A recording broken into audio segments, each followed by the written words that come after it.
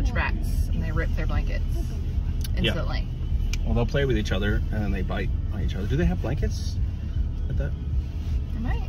I don't know. I've never been there. I don't know if Forty has them. No, no, Sporty doesn't have horse blankets. Oh, they do actually. Yes. Do you want to go there? No, they're always so expensive.